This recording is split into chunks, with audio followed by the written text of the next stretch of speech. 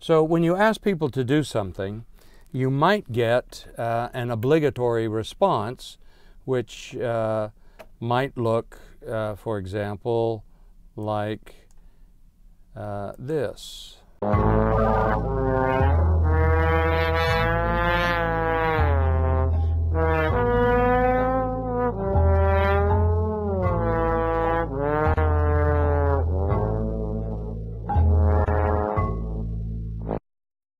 Have you ever seen polar bears? I see them everywhere in the world. Everywhere I go, there are people who don't want to be there. It's pretty obvious by their level one behavior. They're not paying attention. They're dragging their feet. They're going slowly. They really don't care.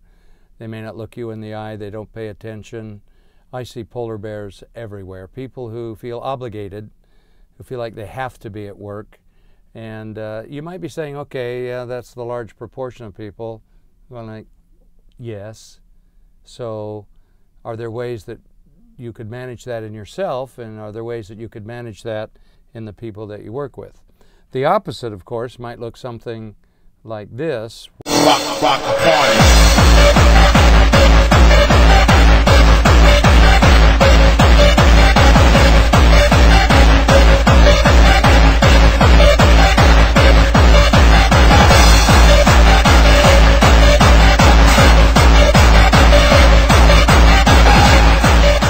know, this penguin is a lot more energy and enthusiasm. Uh, you could argue, yeah, okay, these are nice little YouTube clips, and what's the big deal? On the other hand, I see the difference in organizations wherever I go. In fact, when you walk into an organization or a company, you can frequently tell pretty quickly the quality of leadership by the level of energy and enthusiasm intensity that you feel with the people there.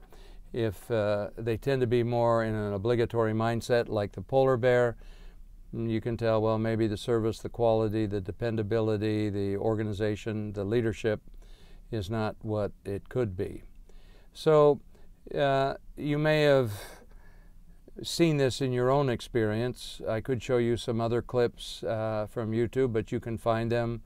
Uh, I invite you to look up one maybe called Monkey Dance in which you'll see the chief executive of a large software company at the time using this kind of enthusiasm to try to influence the people around him.